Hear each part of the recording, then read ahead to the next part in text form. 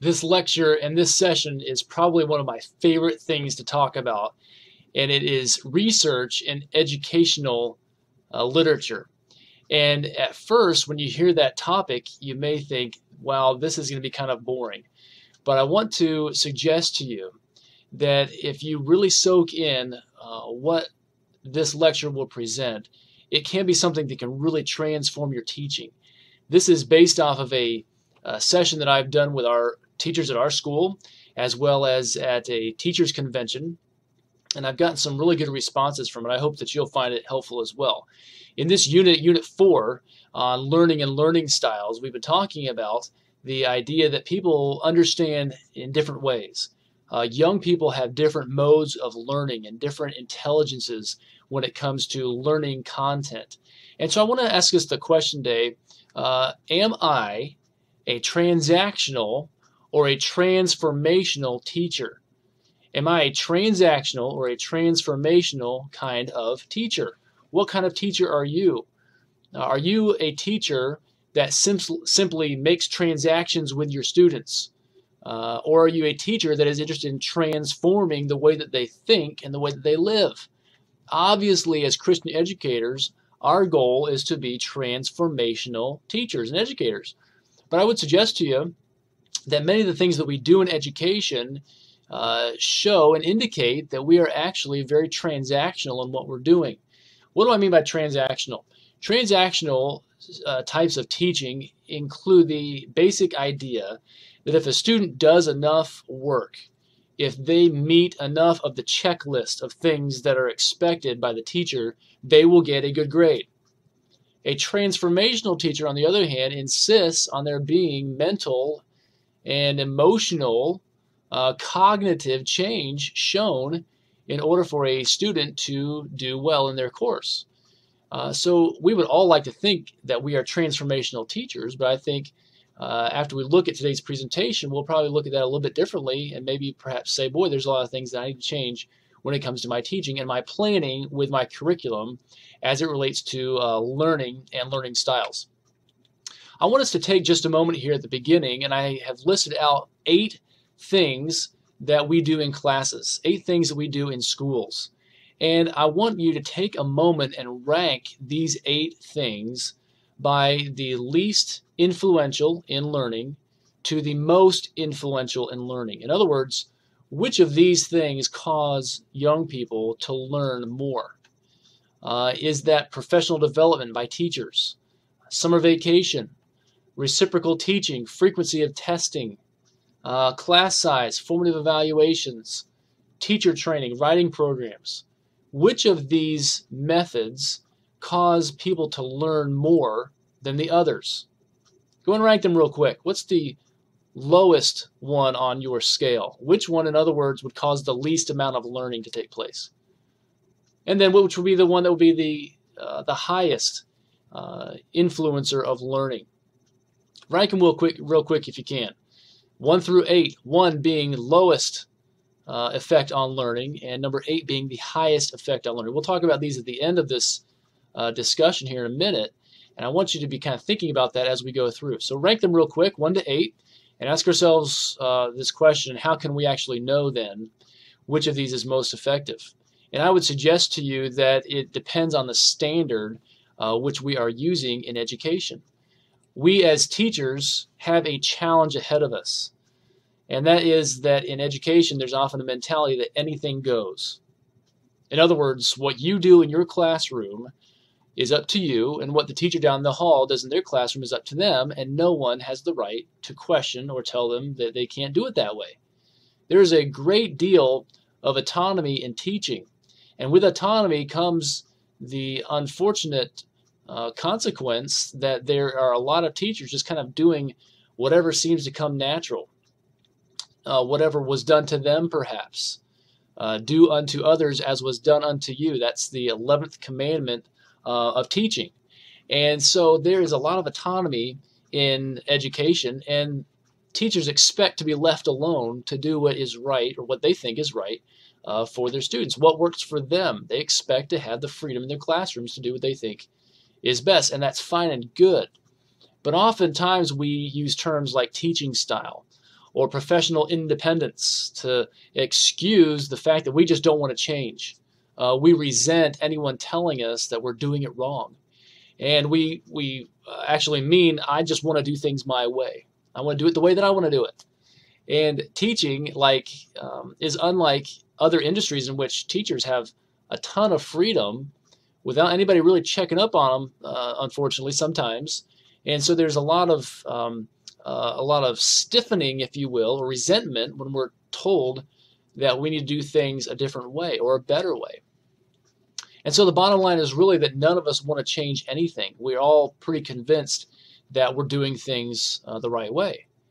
And so we have to be careful about this attitude because we assume a lot of things that are working without necessarily knowing for sure that they are.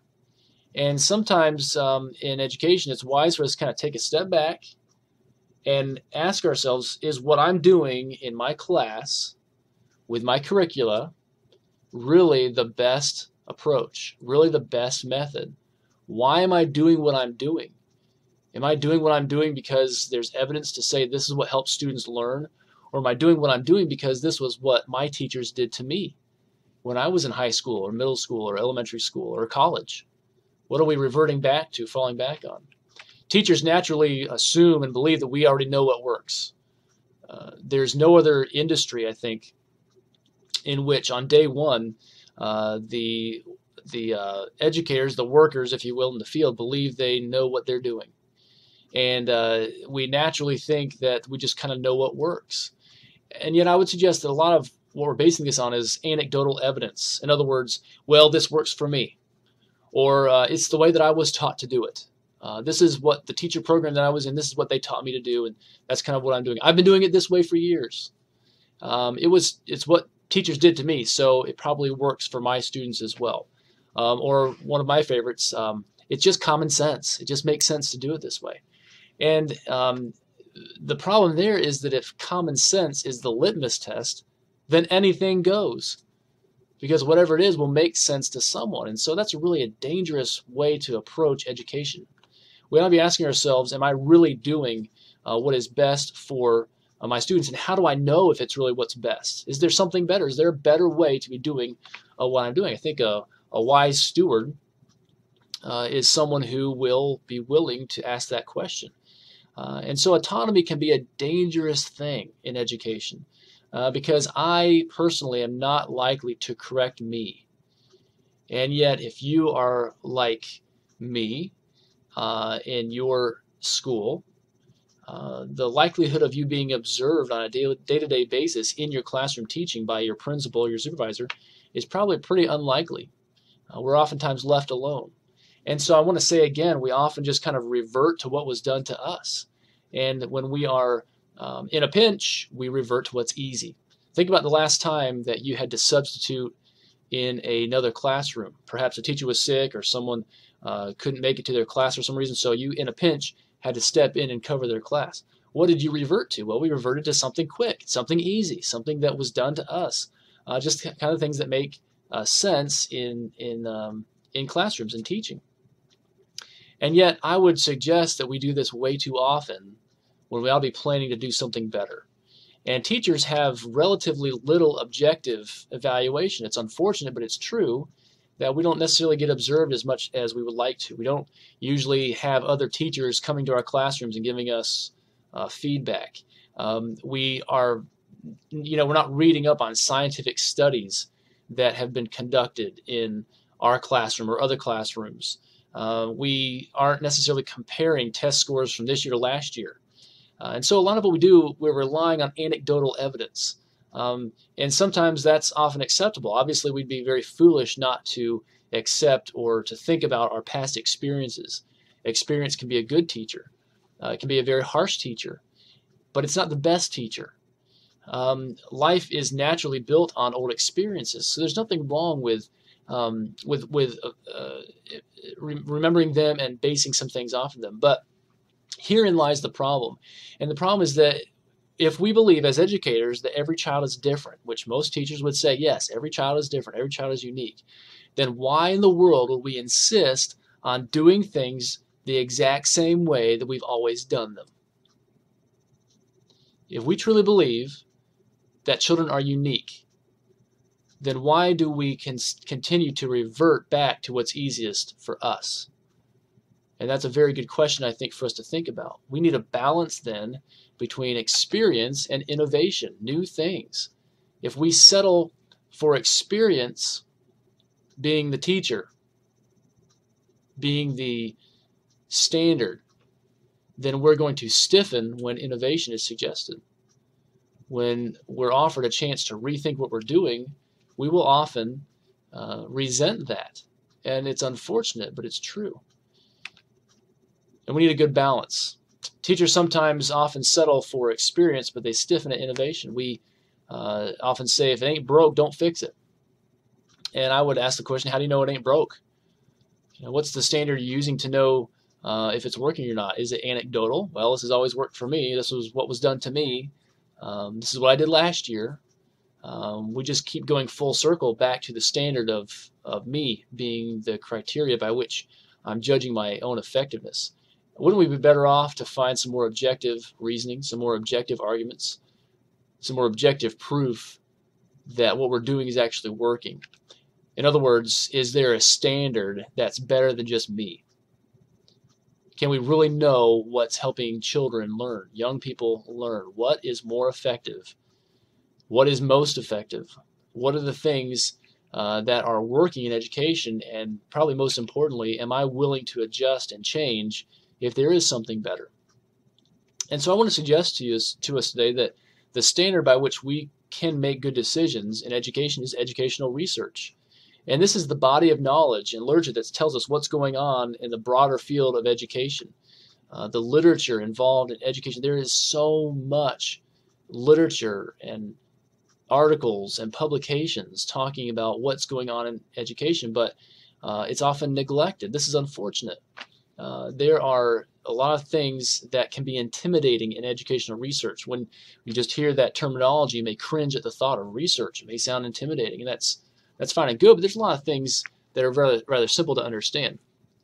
I, want to read you a, a quick uh, paragraph from a research text. This is a text by Gall, uh, published. Uh, it's a research uh, text for grad school for conducting research, but he has he makes an interesting analogy here, uh, asking us the question, what does educational research do for us? He he breaks it down like this. He says, if doctors were to lose their base of medical research, most of them would have to stop working. They would have no idea how to treat anything except common ailments. Surgeons, for example, could not perform open heart surgery if they lacked research based knowledge about heart functions, anesthesia, the meaning of symptoms, and the likely risks of particular surgical procedures. In contrast, if educators suddenly were to lose the body of knowledge that has been gained thus far from educational research, their work would be virtually unaffected. Schools would continue to operate pretty much as they do now. It's difficult to imagine teachers who would refuse to teach students because they did not possess sufficient research based knowledge about the learning process or the effectiveness of different instructional methods. The point of this comparison of medicine and education is that research still has relatively little influence on the day to day work of educators. This assessment of educational practice raises an important question why should one do educational research? and that's an interesting comparison. Why should we be concerned with educational research? I want to kind of break that down for us here today, just very quickly, and help us understand as educators, as professional educators, as graduate students, what is the importance of educational research? Research does uh, several things for us. Here's four things, real quick, that Gall says educational research does for us. First of all, it tells us what's happening in schools, it describes the situation in education. We develop instruments, surveys, polls, and tests that can be given to students to understand what they have learned and what they know. But before these tests can be used, they have to be validated. There has to be research behind them to legitimize them. For example, if you give any kind of standardized testing in your school, those tests have to be researched heavily. They have to be validated and authenticated, used uh, thousands and thousands of times before they hold any weight. So, educational research describes for us what's uh, going on in schools. It, it can predict what's going to happen in students' lives. How well can this predict that? And the value uh, of this is common sense. We, we commonsensically want to know what will be the effect of teaching this subject or teaching this way on this student in the future. So we want to be able to predict. We can't do that without research. Educational research uh, tells us how to improve our schools. Uh, how does an how well does an intervention work? How well does a specific um, idea, when it's implemented, how well does it work? And research also explains a lot of things for us. It tells us how to identify a problem. It can show us how to predict the consequences and then kind of figure out what to do about it, how to intervene. And so research does quite a few things for us if we'll give it time and really think about what it's doing. In research, education research, just kind of want to break this down for us. So we kind of understand what we're talking about here. Uh, the, the basic level of education research is dissertations. These are the research studies conducted by doctoral students. And I would hope that many of the graduate students that are taking this course would consider going on further and uh, pursuing a doctoral degree.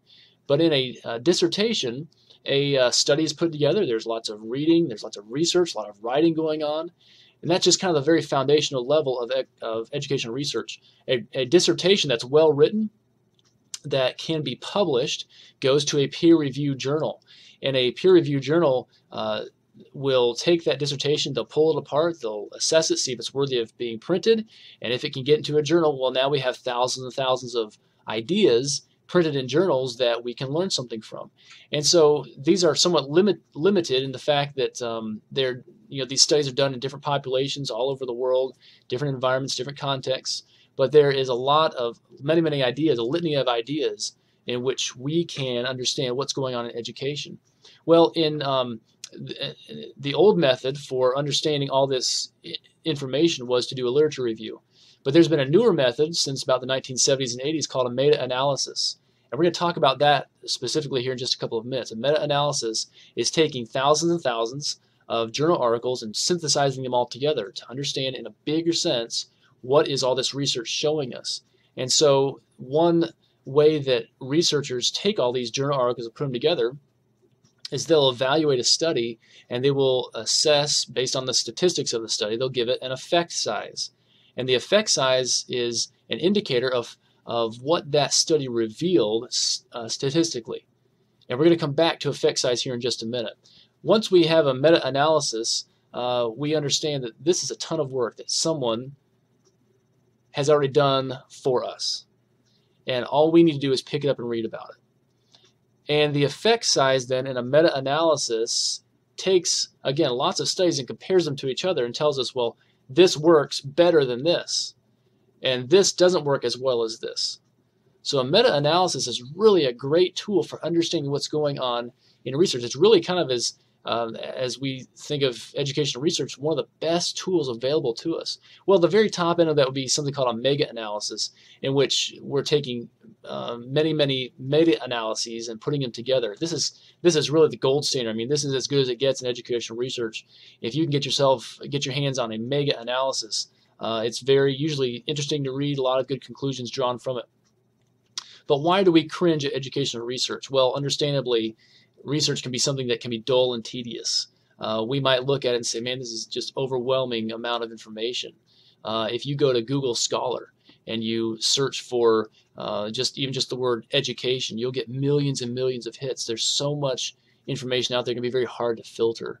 So a meta-analysis or a mega-analysis even is someone having already done this work for you. There can be a lot of good information out there for us. It's at our fingertips. And so it'd be really nice if someone took all that information and broke it down for us into one place. And the good news is that many authors have. So I want to talk about that for just a moment. In our text, our author talks about a couple of uh, studies, one by Cotton and one by Marzano, in which they have taken hundreds of journal articles and have synthesized them and broken them down. And uh, this is research-based evidence. There's that's kind of a buzzword in education, research-based. If we can tell people that something is research-based, they'll believe just about anything. But research-based information is uh, information that has been tested and tried in schools, and so it's worth us uh, looking at and drawing some valid conclusions from it. And so in our text, two uh, meta-analyses have uh, been discussed here, but I want to introduce you to another one that is uh, really uh, a, great resource for us in education, and it's um, the author calls it Teaching's Holy Grail. And that's a, a work by John Hattie called Visible Learning, in which he takes over 800 meta analyses and synthesizes them and breaks them down. And so, what he's done here is he's taken uh, 138 educational topics, uh, topics like homework and uh, formal evaluation, some of those those eight things we talked about at the beginning of this uh, video. Uh, factors such as that in education, he's gone over. these studies involve over 236 million students worldwide, and he's broken it down into a single continuum over what really works well and what doesn't work as well in education.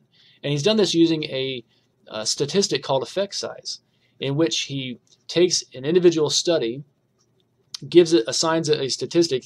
It's a mathematical process. It's actually very lengthy, but he's able to take that and quantify the finding of that to be able to co compare it to other studies. It's actually a very interesting uh, concept. If you like to get this book and read up on it, I would highly encourage you to. This is a good investment uh, this uh, visible learning. And there's a website I'm going to refer you to towards the end that's definitely worth your time taking a look at. But what he does is he takes all these studies and puts them on one continuum and uh, gives them an effect size. So let's talk about that here for a minute. Effect size then is a single scale, single uh, statistic for comparing data across studies.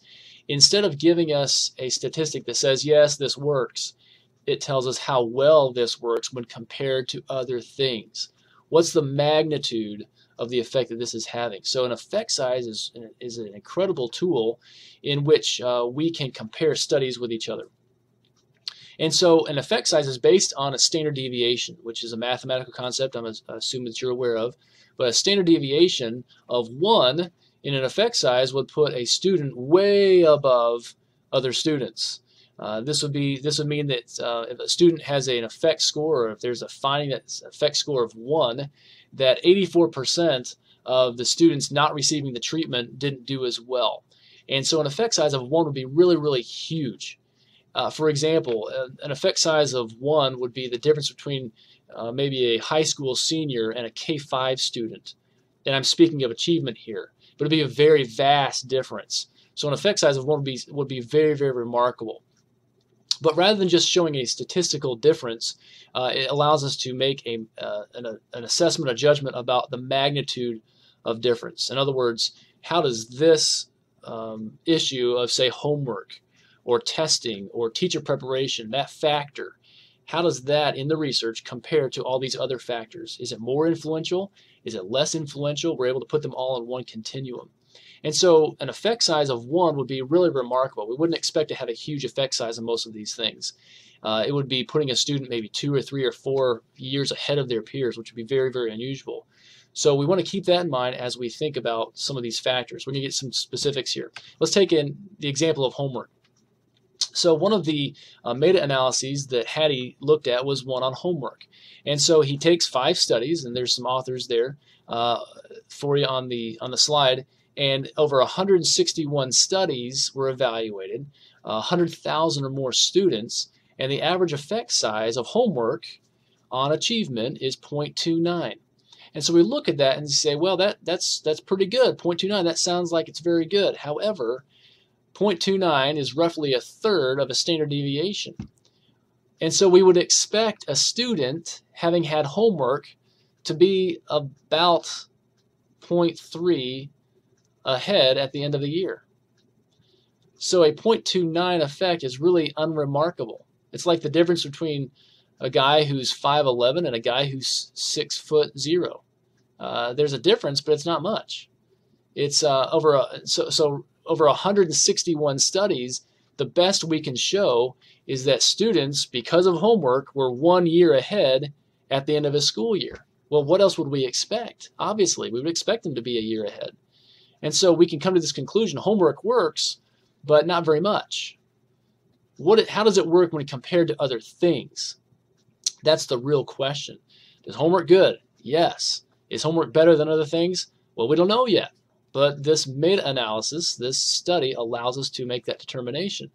So, homework then, we could say, would be a transactional method.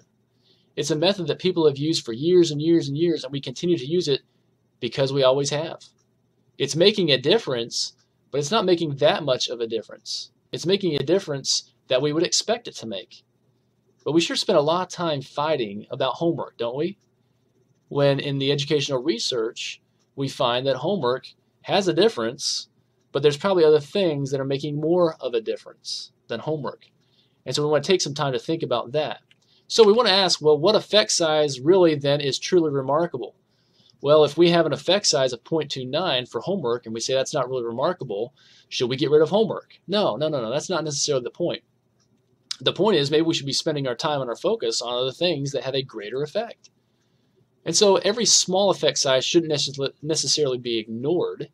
Uh, let's say, for example, that I give my students mechanical pencils, and then I have some other students who use just plain wood pencils. And it turns out the effect of mechanical uh, pencils is 0.2. It's not very much. But you know what? Mechanical pencils are so cheap, why not do it? So that's a small effect, but it's worth doing because it's very simple to do. Let's say, though, that uh, we have an effect size of 0.75 for science achievement when students are taken down to NASA and introduced to an astronaut. 0.75. That's an incredible amount of achievement. But look how expensive that would be to take all of our students down to NASA so they can meet a scientist so we can increase their science achievement. So that's a large effect, but it's not practical to try it. So we have to ignore it. So what's a good standard? Well, a good standard that is worth shooting for then would be the average of all the effects. And so in John Hattie's study, he takes over 138 of these factors, puts them all into one scale, and finds that the average of all of them is 0.40. 0.40. So as we look at these studies and this analysis, the hinge point is really 0.40. That's the average. Our question is, what is above average? What things are 0.4 and above that are producing achievement that is above average? These would be what Hattie would call transformational methods. These are the things that are really game changers in education. And the good news is that half of these innovations are over 0.40. They're above average. Now, if we think back to homework a minute ago, homework of 0.29 is a below average indicator. Is it effective? Yes, it's having an effect, especially to a transactional teacher who insists on doing things that are tried and true, the way we've always done things. This is great evidence for a transactional teacher to continue giving loads and loads and loads of homework because it works. Well, it gets a student one year ahead, which is about what we want at the end of the year. And it's effective if you're under the false impression that zero is our standard. But we're not after just an effect, just an increase.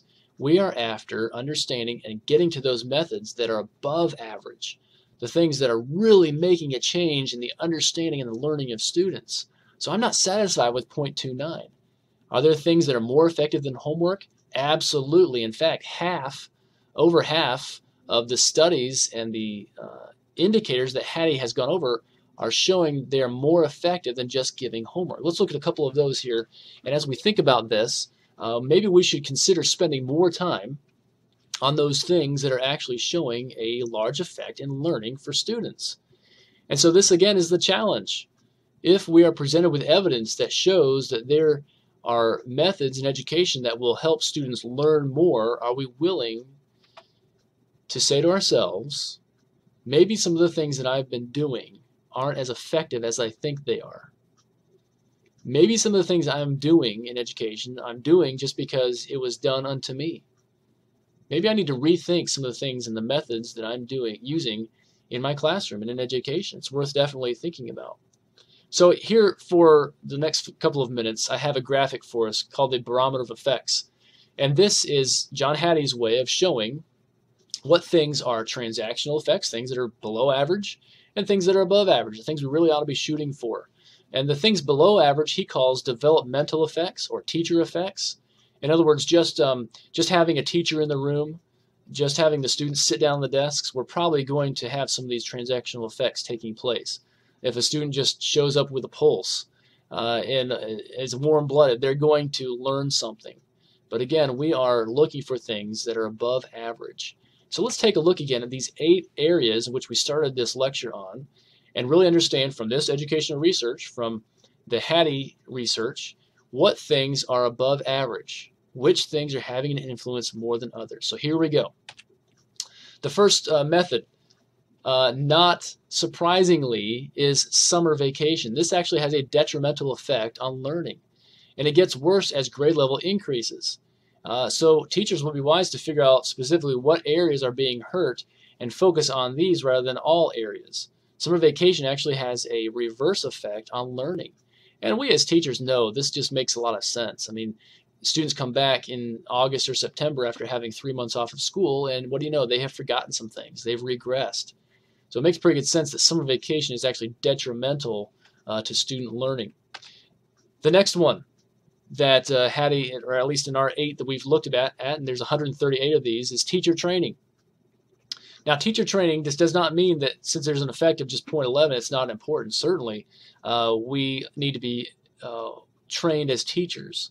But this reiterates the fact that we as educators have a lot to learn. And, and the best teachers are those who are willing to teach themselves more things and doing more. And uh, teaching is way more than just knowing content knowledge. Uh, content knowledge, by the way, is one of Hattie's effects. It's a 0.09. 0.09. That's, that's way down there. Just knowing your subject matter does not make you a great teacher, a great educator. Uh, the next one in our barometer of effects is uh, reduced class size. Uh, having a smaller class size makes a difference in education, but it's not really that much. A 0.21, when compared to other things, is not that big. Reducing classes doesn't necessarily help, but you, but on the other hand, uh, increasing class sizes doesn't necessarily uh, help either. And so this is something to consider. So number three is reduced class size. Frequency of testing. Uh, number four, at 0.34. Um, this would show us, again, that giving a lot of tests is not necessarily a, uh, a good thing. And yet, what do we do a lot in education? We give a lot of tests. We test, test, test. We assume we have to squeeze in a test before the weekend. We assume we have to get in another test before the vacation, uh, you know, Christmas vacation starts. Everybody's scrambling to get in another test. Giving tests has an effect but it's not a very high effect when it comes to achievement. Uh, as you read some of Hattie's work, you'll see that he explains some of these things. And one of the conclusions he comes to on this one is that a large number of short tests uh, is better than a short number of long tests. In other words, the shorter, the better. Uh, and the more closely together these are, the better. We'll talk about that here in just a minute with, with some of the other factors. But test length can create lower grades. And yet, what is our tendency in education? To make really long tests, to make them really hard, make them really challenging. And yet, this does not have as much of an effect on learning as we would like to think that it would. The next one here, number five, writing programs. Number now, now we're above 0.40, so now we're talking about effects that are above average. What are the things that are causing a bigger effect than some of the other things? Writing programs is one of them. This is not just you know, writing for the sake of writing. This is a communication strategy. These are teaching students how to write well, how to uh, cre uh, create good logic, good reasoning, good organization, good syntax, uh, good uh, grammar usage. And so writing is a good way to help increase achievement. In fact, it's better than uh, frequency of testing as you think of it on this scale. And also thinking critically about what other people have written and studying writing as a, as a subject. Uh, number six, professional development. The more that a teacher is learning themselves, uh, the more this increases their job satisfaction, their own confidence, uh, their willingness to learn, their knowledge about their subject matter. So educators owe it to their students and their students' achievement to be growing professionally as educators. And your learning as a teacher affects the learning of your students. In fact, it affects it more than some other things that we're doing in education. Number seven, reciprocal teaching, having uh, students be the teachers and teaching the concepts to other students, to their peers. Uh, we all learn more when we have, have to teach something to someone else. And uh, so is a good idea to let the students be the teacher a little bit, to guide their to guide their instruction, of course, but to allow them to teach others uh, the things that they are learning. And so um, it teaches students then to kind of monitor their own understanding. And so reciprocal teaching actually has a very high effect, 0.74. Students who are involved in reciprocal teaching show a very high level of achievement. The final one here, number eight, formative evaluations, 0.90. This is putting students way ahead. And it's not the abundance of quizzing for quizzing's sake, but because it's not for the student's sake, it's for the teacher's sake, to be able to evaluate how well they are teaching. Think about this when students take a quiz or a test and the students don't do well on it. A transactional teacher blames the students. When students don't do well, a transactional teacher blames the students. If students take a quiz or a test and do poorly on it, a transformational teacher blames themselves. And they ask themselves, what am I doing wrong? What do I need to change? What do I need to do to help my students achieve more? So, formative evaluations, uh, those that are given along the way before the summative evaluation, those give a wise teacher a chance to evaluate themselves in order to be offering students a better education, which increases their achievement. And so, quizzing for quizzing's sake, testing for testing's sake, is, is unwise. What is the teacher learning from it? How are they adjusting their teaching to increase achievement uh, based on what they are doing? And uh, this gives us the ability to have feedback from our students and to, to change the way that we're doing things so they can achieve more. It doesn't mean watering things down. It doesn't mean spoon feeding answers. It does mean, though, adjusting and being willing to change the way that I'm teaching to help students learn more. What is the ultimate goal of what we're doing? Is it convenience for teachers? Is it simplicity of work for teachers? Well, no, obviously it's student achievement. But what do we oftentimes base what we're doing on? Uh, what we're doing, what are we basing that on? We're oftentimes basing it on what's easiest for me. And that is not helping students learn. And so it's very wise of a transformational teacher to consider these things. I want to refer you to John Hattie's website, visiblelearning.org. There's a hyphen in between, visible-learning.org. And on his website, you will see his scale of all 138 factors of education and their effect sizes. And I would encourage you to take a look at this website, uh, purchase the book, uh, look at some of John Hattie's work. It really is interesting research and very, very applicable to what we're doing uh, in education. And I would encourage you, as we uh, think about education, we want to be transformational teachers. And you know, we spend a lot of time and effort arguing about the things that really are showing very little effect. I mean, how how often have we heard arguments for and against homework? But homework is not a game changer in education. There are so many more things that will help students learn than homework. Why are we so defensive about what we have always done? Uh, why do we get um, on edge when people criticize or when we go to a conference session that criticizes things that we have already done. Well, we should be asking ourselves, instead of what works, we should be asking ourselves what works best. Is are there a lot of factors in, in school that are working? Yes. In fact, all of them are probably working to some extent. The question ought to be what is working best? I want to leave us today with a remark that is in Hattie's book, but it's by an author named Karl Popper and he wrote this bold ideas, unjustified anticipations, and speculative thought are our only means for interpreting nature, our only organon, our only instrument for grasping her. And we must hazard them to win our prize. Those among us who are unwilling to expose their ideas to the hazard of refutation do not take part in the scientific game. What Popper is saying there is simply this if we are unwilling to criticize ourselves, to look at what we're doing and ask ourselves the question, is this really what's best for student?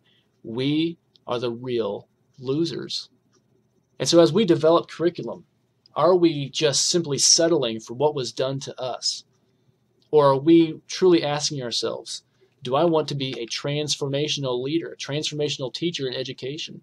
Am I just conducting business? Am I just giving students a set of uh, task to accomplish and I just hand them a grade? Or am I transforming lives? Am I changing lives? Am I uh, affecting achievement? Uh, I'm not willing to just give students what they expected. I want to be a different kind of teacher.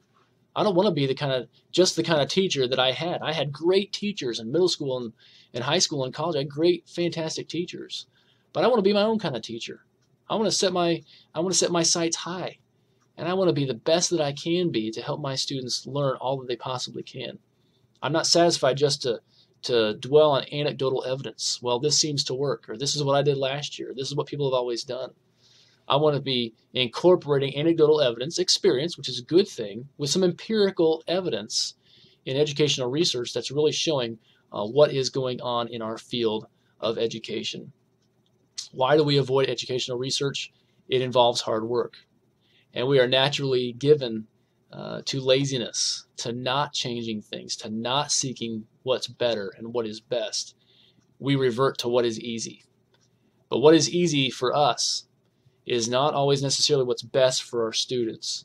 And we owe it to young people, we owe it to uh, children, we owe it to their parents to really ask ourselves uh, how am I considering learning and learning styles? Am I, as a professional educator, uh, considering that there are some methods that work better than others, and I'm incorporating those into what I'm doing each day?